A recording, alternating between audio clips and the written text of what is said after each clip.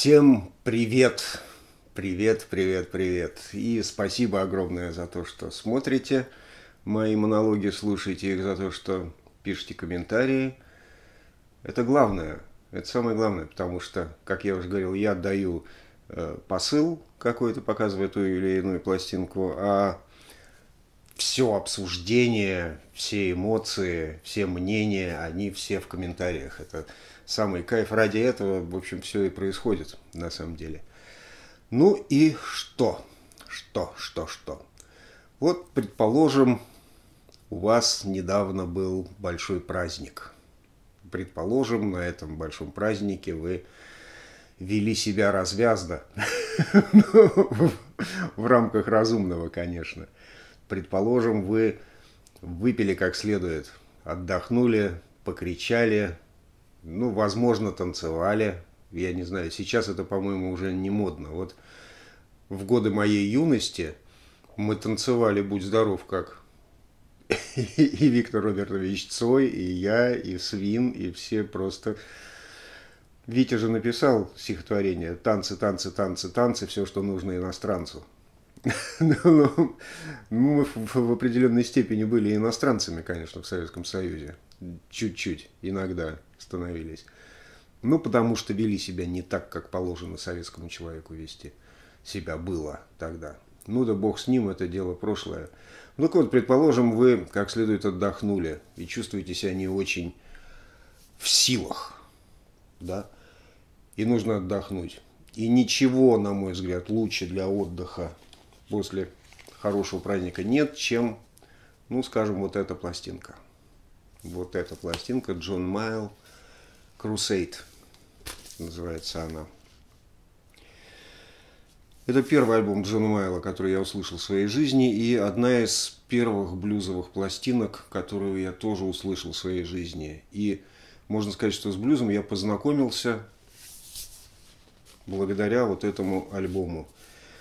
Я был совсем еще дитя, ну то есть не дитя, я учился в школе, не помню в каком классе, пришел в гости к товарищу, не однокласснику, а просто товарищ дворовый. А его папа собирал пластинки. И мы стали слушать папины пластинки. Вытащен был с полки вот этот альбом. У меня, кстати говоря, оригинал английский. Я уж слишком уж люблю этот альбом. Прусь от него много десятков лет. Хорошенький такой. И стали его слушать. Ну, понятно, что в ту пору мы любили музыку, как нам тогда казалось, самую лучшую в мире. Советские школьники что любили? Самую лучшую музыку в мире, лучше которой не бывает. Не буду озвучивать названия групп, они всем известны. И большинство слушателей до сих пор считают, что это самая лучшая музыка в мире. Повторюсь, не буду озвучивать, чтобы, чтобы никого не обидеть. Тем более, что я сам эту музыку слушаю до сих пор. Ну вот. И как-то странно меня зацепил этот альбом совсем маленького. Ну, не совсем маленького, ну, такого советского школьника. Хотя он был абсолютно не похож по музыке на то, что мы тогда слушали все. И я его послушал потом еще раз, опять придя в гости к своему дворовому товарищу.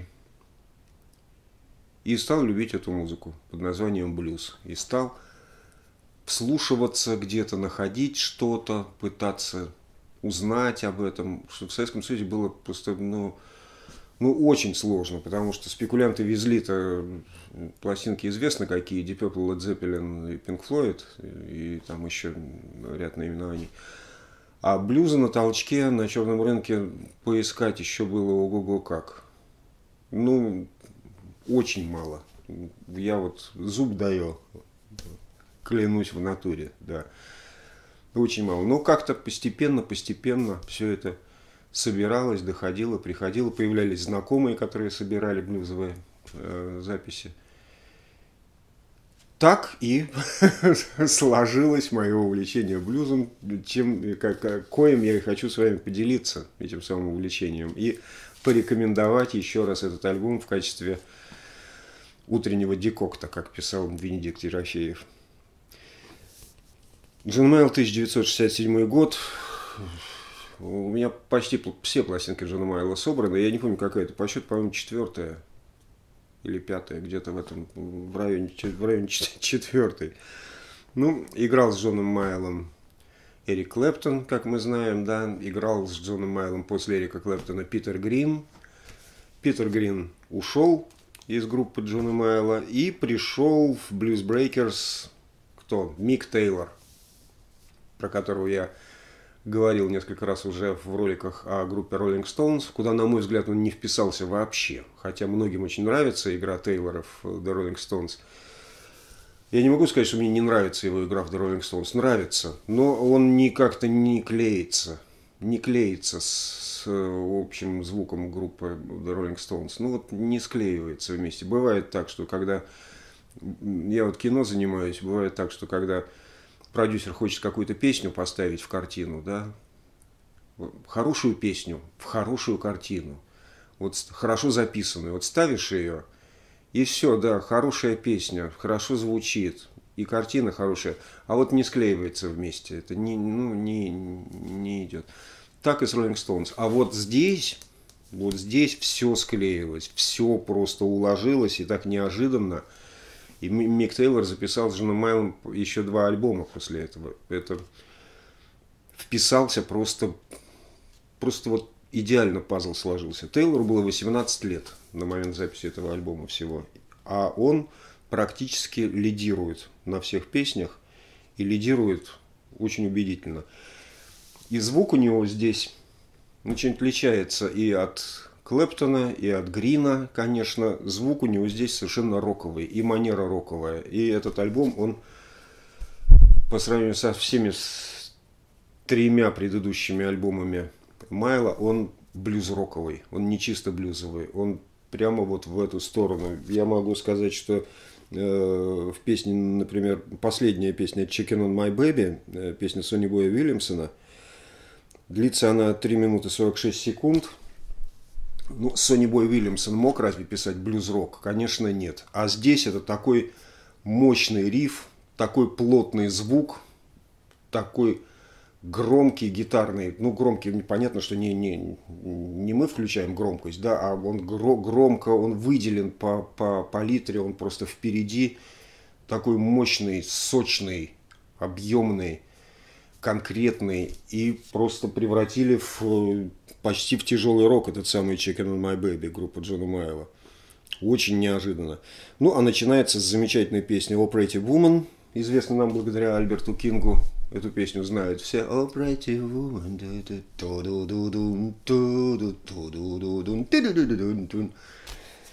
Прекрасно Мик Тейлор здесь играет. Джон Майл играет на клавишных, поет замечательно, очень хорошо здесь все. И группа, конечно, вжаривает ого-го как Джон Макви на бас-гитаре, Кит Хартли на ударных, Крис Мерсер на тенор-саксофоне и Рип Кант на баритоне саксофоне тоже. И духовая секция работает как надо. Хотя многие пишут, я читал рецензии, что по-пионерски звучит э, духовая секция. Ничего подобного. Они сзади дают аккордики, такие интервальчики, очень, очень уместно. Выделяют Э, доли, очень, очень, очень все на месте, и больше и не надо. Вот как, как сыграно, так и сыграно, больше и не надо. Stand Back Baby, коротенький номер Джона Майла, развеселенький. И очень классный My Time After a While э, Бадди Гая. Здесь Мик Тейлор оторвался в соло уже. Ну, песня Бадди Гая, она подразумевает большие соли, подразумевает большие сольные партии э, электрической гитары. Ну и Тейл, Тейл, Тейлор тут развернулся по полной схеме. Хотя это, конечно, не хард-рок с этими соляками, ну, как называется, длинными, безумными и бессмысленными, а конкретная блюзовая игра с хорошим, мощным и, опять-таки скажу, роковым звуком по плотности, по такой по насыщенности – Такого звука мало у кого было в 67 году, на самом деле. Мало, ну, так, так мне и не вспомнить, чтобы такой вот, такое ощущение, что струны вот такой толщины. Но при этом подтяжечки, все дела, все, все работает. Снова и Вуд инструментал, который написали Джон Майл и Мик Тейлор. Я подозреваю, что Мик Тейлор придумал э, мелодическую фразу, одну, которую, как говорила моя бабушка, размусоливает по всей песне, повторяя ее бесконечно. Но она хорошая фраза, блюзовая. И вокруг нее уже он импровизирует – Майл, конечно, поддерживает, инструментальчик очень крутой. Кстати, в Stand Back Baby, я забыл сказать, вот во второй песне Джон Майл на гармошке очень крепко сыграл, очень крепко просто. И вдвоем с Тейлором они тут в дуэте очень хорошо все сделали. Вот «Основа Юбут» очень развеселая песня в ми-мажоре, если кому интересно. Вообще все песни здесь, сплошные блюзы, они все в мажоре. Они все мажорные. И я всегда говорил, что блюз это музыка мажорная, а не минорная. Минорная ее сделал Питер Грин. И ряд еще белых, э, бледнолицых, сумеречных англичан. А на самом деле это мажорная музыка. Всегда первый аккорд всегда мажорный. Джон Майл тому пример, хотя поет он достаточно как-то так печально. Тембр у него не, не раскрытый такой солнечный, а у него лондонский туманный голос такой. Но тем не менее, песни хорошие. Man of Stone Эдди Киркланда. Вот это настоящий уже такой, настоящий черный блюз, сыгранный белым человеком, аутентично, не испорчен. Паровозик побежал, Man of Stone, Man of Stone, и поезд поехал из Чикаго куда-нибудь далеко-далеко. Очень классная песня. Ну, а Tears in My Eyes Джона Майла – это фирменная, хотя она в до-мажоре, но она такая печальная. Джон Майл развернулся здесь в своей тоске печали, в своем видении блюза, лондонского, туманного, сырого и темного по полной схеме. Вот для, для отдыха нас, бледнолицых, с вами э, товарищи после хорошей вечеринки. Как раз первая сторона этого альбома, она в полный рост и заканчивается вот Tears in My Eyes. И хочется сразу пойти к холодильнику и продолжить. Вот не совру, послушайте, сами оцените мои пожелания. Driving Sideways на второй стороне пьеса Фредди Кинга, еще один инструментал, еще один э, бенефис Мика Тейлора – очень убедительный, потому что Фредди Кинг не последний автор, не последний гитарист. Мик Тейлор не испортил ничего, а может быть где-то для кого-то покажется, покажется, что и улучшил даже. Ну, сделал более, не то чтобы европейский, но по-белому, а точнее по-роковому. Так уж получилось. The Death of J.B. Lenoir Джона Майла в классика блюза, хоть написал, Джо, хоть написал ее Джон Майл, а не черный музыкант, настоящий корневой, но абсолютно классическая, печальная вещь. Потому что, ну, потому что печальная по смыслу. Ну и многим будет интересно Can't Quit You Baby. Конечно, песня всем известная. Мало того, что по оригинальным э, записям, так и по версии группы Led Zeppelin. Ну, здесь, конечно, отличается от Led Zeppelin, но я не скажу, что в плохую сторону. Она приближена к тому, немножко приближена к тому, что делал Отис Раш с этой песней в свое время, когда она прозвучала впервые. Но и такого зверства безумного, как у Zeppelin, здесь тоже нет. Она где-то посередине находится. И она, конечно, куда как более правильная, если, если говорить о блюзе, о блюзе, не вообще о роке, там, а, обо всем этом, о музыке, она, конечно, очень, очень правильно сделана. С уважением к Оти Сурашу, с уважением к оригиналу, но, опять-таки, все равно в, уже в блюз-роке. Уже не в чистом блюзе, а все равно уже более понятный звук для белого человека с электрической гитарой. Скажем, скажем так. Steamline, можно повеселиться немножко. И Me and My Woman, предпоследняя вещь, хотя она и не Майлом написана, но такое ощущение, что специально для Майла. Специально для лондонской городской печали. Но при этом печаль не печаль, а пластинка удивительно хорошая, удивительно проникновенная и звучит удивительно современно до сих пор. Хотя это 1967 год. После праздников лучше ничего не придумаешь. Вот. Поэтому я пошел пить, а вы оставайтесь э, вместе э, со мной, наверное, да? Все, пошел пить пока.